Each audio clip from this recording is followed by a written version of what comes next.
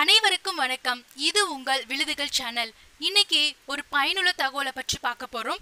இது வரைக்கும் சேனலை சப்ஸ்கிரைப் பண்ணாதவங்க சப்ஸ்கிரைப் பண்ணிக்கோங்க. வாங்க வீடியோக்குள்ள போகலாம்.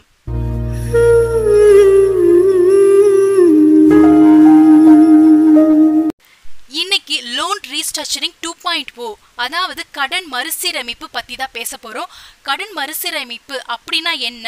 அது யார் யாருக்கெல்லாம் எலிஜிபிள் அப்படின்னு பற்றி தான் நம்ம பார்க்க போகிறோம் இன்னைக்கு பொருளாதார வீழ்ச்சி காரணமா ஆர்பிஐ வங்கி மறுசீரமைப்பு அப்படின்னு சொல்லிட்டு ஒரு கொள்கையை எல்லா வங்கிகளுக்கும் அனௌன்ஸ் பண்ணுச்சு. இந்த அனௌன்ஸ்மெண்ட் வந்து யார் யாருக்கெல்லாம் எலிஜிபிள் அப்படின்னு நம்ம பார்க்கலாம்.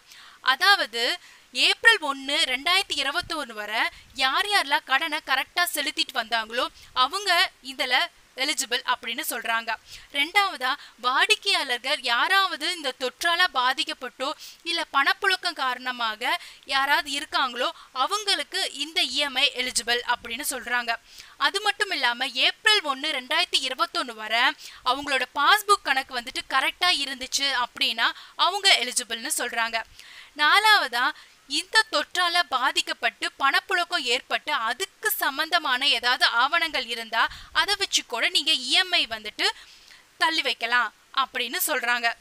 இப்போ இந்த இஎம்ஐ எந்தெந்த லோனுக்கெல்லாம் எலிஜிபிள் அப்படின்னு பார்க்கலாம்.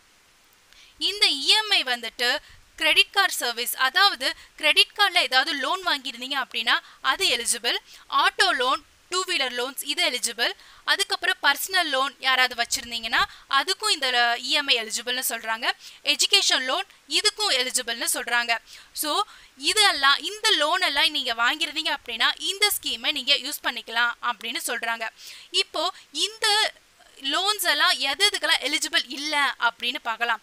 இப்போ அக்ரிகல்ச்சரல் கிரெடிட் சொசைட்டிஸ் அப்படின்னு சொல்லியிருப்பாங்க. அவங்களுக்கு இந்த ரீஸ்ட்ரக்சரிங் ஸ்கீம்ஸ் வந்து யூஸ் ஆகாது அப்படிங்கிறாங்க.